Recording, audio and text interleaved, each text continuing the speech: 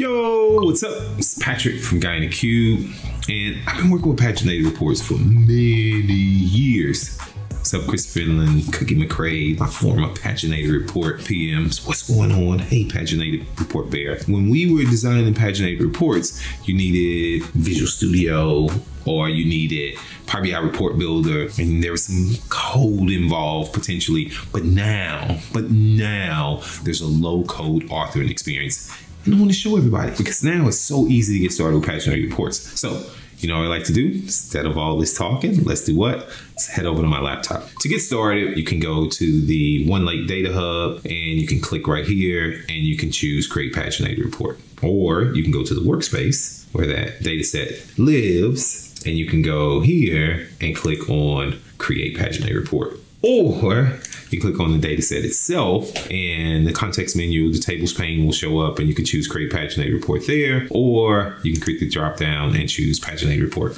Regardless, you'll land in the same place. This is a really, really good experience and it makes creating paginated reports so easy. So the first thing I want to do is insert me an image into this report. And you'll be like, what? An image? Yeah, check this out. So I just have the URL to this image that's out on the web. Click insert. Boom. There's my image. Look at that. And what I'm to do is there's a little divider here. If you go to view, you can actually hide that section divider or hide the margins, right? I'm gonna keep them both because I wanna make sure I'm within the margins of the page, okay? So I added my little logo here and then I'm gonna also insert a text box and we're gonna call this Adventure Works Annual Sales Report.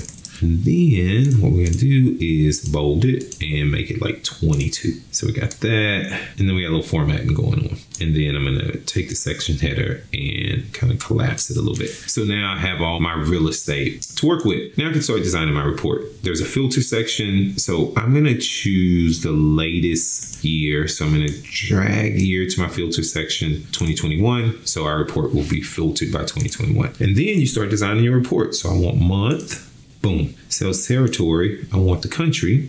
And then I would like to add a few measures. And this is where it gets fun. So I'm gonna go internet sales. I know I want total sales amount. And I was looking through this list, and this is a data set that Adam created, and he forgot to add a total quantity of the items that we sold. And I was like, what am I gonna do?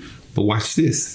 There is an implicit measure, and you can see the summation symbol here that I can use. So I'm gonna go ahead and click it. It'll add it to the canvas. If I collapse all this and open up Bill, I can actually change how it summarizes. So I wanted to sum, but I can use other different summarizations if I want. Also notice that I can change turn the total. So for any of the implicit or explicit measures, I can automatically turn totals on and off at a column level.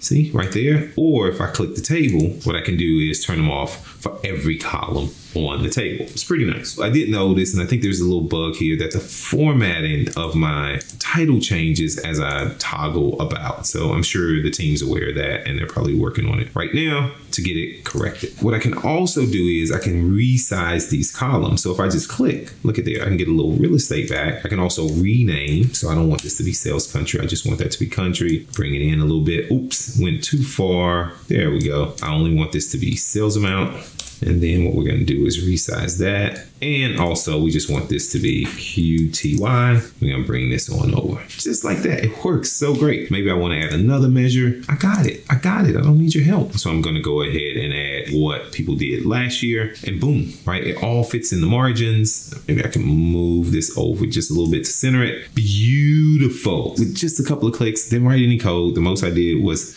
do some very awful adventure works typing on the title. But besides that, not a lot of code. So once this is done, if I go back over to my view tab, I can switch to web layout. I can go to print layout. I can even see the diagnostics of the report. And you can see it took 121 milliseconds to retrieve the data, to count the rows, to process time, to render the report. Pretty nice. I can switch to viewing the report. I gotta give it a name before I do this, right? We're gonna call this annual sales. Click save. Yeah, replace the existing report. And then we'll see what this looks like once it's rendered. All on the same page. I can share the report now. I can view the report. I can toggle back over to my editing view. And then finally, what I can do is I can export this out. I can export this to PDF, Excel. We'll do a quick export to PDF, open it up. I've done it a couple of times and boom, there's my report. There's two pages in my report. Noticing that my title's not there, but I'm sure they're working on correcting that.